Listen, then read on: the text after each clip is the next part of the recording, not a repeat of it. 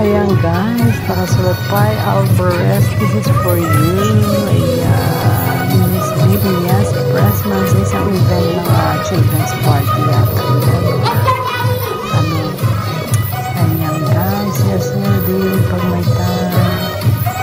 Mabuti na ng ano, pati mga sikat na artist na ginagaya na kaya sila nag famous na. Tanggapin natin sarili natin, di ba?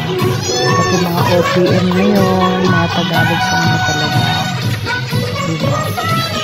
Pang world class kaya ang Pilipinas na talaga nakakatuwa nung tinanggap niya. Dati OPM, hindi po yung dinatanggap na ano sila Corita, di ba?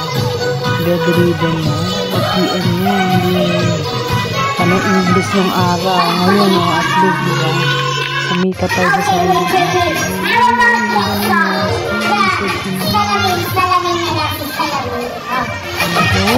我还没有见过这样的。